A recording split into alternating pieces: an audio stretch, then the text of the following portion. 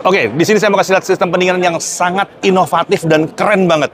Oke, ini dia PC yang kecil banget ya, kecil banget dengan cooling system yang wah, ya ini the world's first solid state active cooler mini PC. dia pakai floor system. Ya, ini adalah solid state system untuk pendinginan.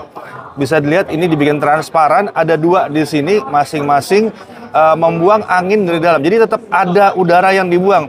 Terbukti dari ini nih, ya. Jadi kalau ini ditutup, nah ini kan diberhenti nih. Nah ini ini ini bukan motor ya, ini bukan motor, itu cuman cuma baling-baling aja.